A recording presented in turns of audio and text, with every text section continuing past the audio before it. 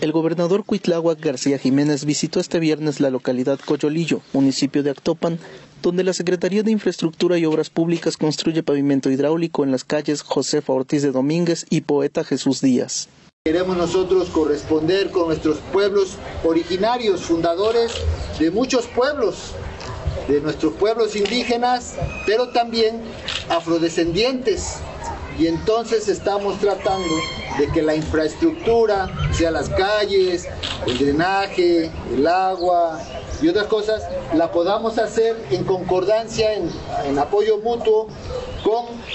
los eh, alcaldes en esta comunidad, las acciones consisten en 520 metros lineales de pavimento, colector pluvial y sanitario, red de agua potable, luminarias, guarniciones y banquetas, con una inversión de 15 millones de pesos y un tiempo récord de dos meses y medio en construcción. No solamente en Coyolillo estamos haciendo obra, estamos haciendo obra la entrada del paso de la milpa para acá, en el espinal este, también estamos haciendo, rumbo a Cetal, estamos haciendo también obra y así. Todo esto es gracias a que la gente de Actopan, el pueblo de Actopan, ustedes acá, sus padres, eh, decidieron hacer la transformación en Actopan.